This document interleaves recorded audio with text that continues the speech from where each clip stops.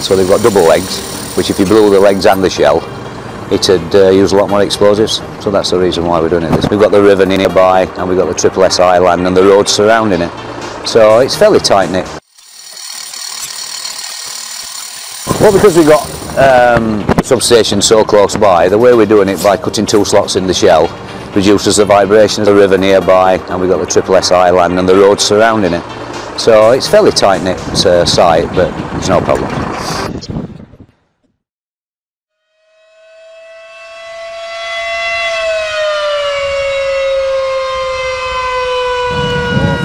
Three, two, one, fire now.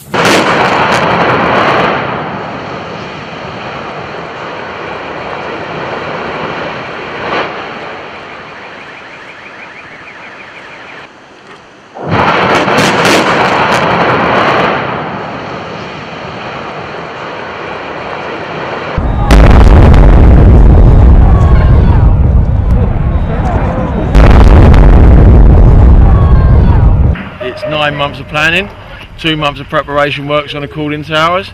As you can see, it's, it's gone fantastic well on a day. The exclusion zone wasn't breached, all the sentries held their places. So very happy, very pleased.